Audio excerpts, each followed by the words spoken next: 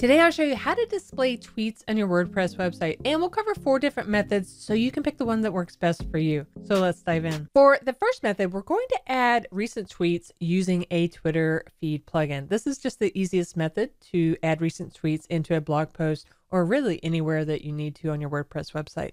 And the plugin that we're going to use is called Smash Balloon Custom Twitter Feeds Pro. Now, they do have a free version in the WordPress repository, but I'm going to use the paid plugin to show you all the features that Smash Balloon can do for you. So we'll head over to Smash Balloon and you'll want to create an account by getting Smash Balloon. Once you do that, you can go to your account. We'll go to downloads so we can download the Twitter plugin. Now, Smash Balloon is really cool. They have not just Twitter feed plugin, but they have Instagram, YouTube, Facebook, and then they have a really cool feature where they can bring all of them together in a social wall. So you see everything in a social wall. So it's really cool features that they have. So we're going to do custom Twitter feeds. That's the plugin that we'll want to download.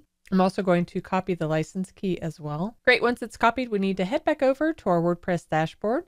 And from here, we want to go to plugins, add new. And if you're wanting to do the free one, you can search for Smash Balloon here. We're uploading the premium version. So I'm going to click upload plugin and I have this down here. So I can left click and drag this up or you can choose file and search for it on your desktop. Let's go ahead and click install now. And once you install it, you'll also want to stick around to activate the plugin. Great. Now that's activated, we'll want to scroll down. We can either click here or if you ever need to come back over on the left, you have Twitter feeds and license. So we can click there so we can enter our license key. So I'm going to paste in the license key that I copied and go ahead and activate the license. Great, now that everything's active, let's go ahead and click on the configure tab so we can get everything configured for it. From here, we want to click on the big blue button to log in and authorize the app. Great, once we click on the button and authorize the app, then it'll bring back the access token and the access token secret. So that is perfect. We can just save changes to, just to make sure everything is saved. And now from here, you can choose what you want to showcase. You can either do user timeline. You can also do other things like showing tweets based on different hashtags, search items, mentions, phrases. You can also choose to include replies and retweets. So for this one, I'm going to use WP Beginner. You can do all of these as well.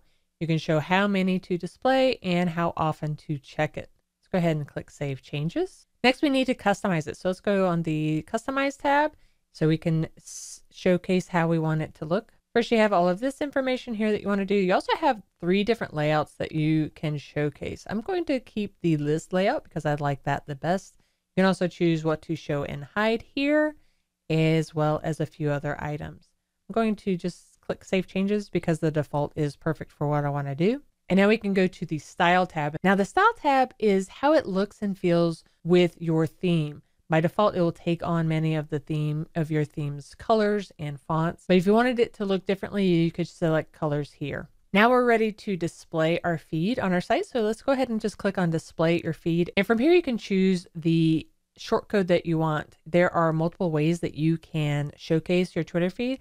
I'm just going to click this one because it is from all of the changes that I made in configuration, customize, and style. So it's going to take that on. But just know that you have all of these other examples that you can do as well. The cool thing about this is you can also showcase any other Twitter profile or Twitter list that you want. You don't have to do just yours. And for this one, we're going to go to pages. This works on posts, pages, or widget areas. So I'm going to showcase this in our front page. So I'm going to click edit. And for this one, I'm just going to scroll down, click on the plus block. And from here, we want to search for shortcode. So I'll click on shortcode and I'm going to paste in that shortcode that I just copied for custom Twitter feeds. We could update this and now we can see it in action.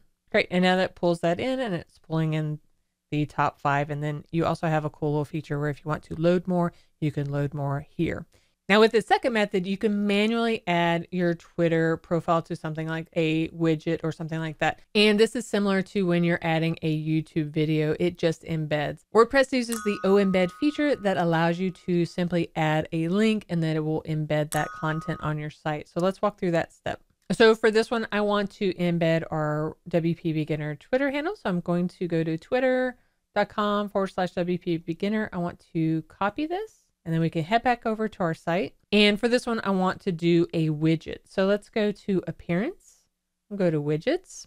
So I'm going to scroll down and I'm looking for the text widget. So I'm going to do that. I'm going to put it in the footer section and I'm just going to paste the Twitter handle that I have. And you see, as soon as I paste it, it already starts to bring in all of the information and brings that on. So we then we can save this and then we can see it live on our sites. And now when I see it, I can see that I have my Twitter widget coming up and all of the tweets coming in. So it looks really good. Now you want to change it up to make it look like you want for your design of your site, but that's a real simple way to bring over all of the tweets from that handle. The third method is by using something called the Twitter Publish, and this allows you to do Twitter content, including a tweet, collection, profile, list, a moment, or a hashtag. So, what we need to do is go to publish.twitter.com and it asks, What do you want to embed? And for this, we'll also do our WP Beginner, hit the arrow button. And then here are our display options. So we can embed the timeline or we can do Twitter buttons. For this one, we'll just do a little bit different. Do a follow button. And then this is all the code that we want to copy. So we'll click copy and lets us know that we copied it. Now we'll head back over to the widget section. And this will be a little bit different because we actually need to do custom HTML. So in uh, we'll drag the custom HTML widget to footer area 2.